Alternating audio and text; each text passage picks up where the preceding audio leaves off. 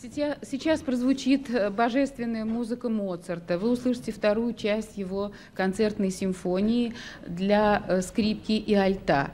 И в этом исполнении Эдуард Грач э, стал изменником скрипки, потому что вы услышите сейчас партию альта в исполнении его, а сын э, Евгений Грач э, будет играть партию скрипки. Хочу сказать только, что существует такое поверье, может быть, это легенда, а может быть, действительность. Во всяком случае, никто еще этого не смог опровергнуть, что Моцарт на похоронах его матери играл именно эту музыку и играл именно партию альта.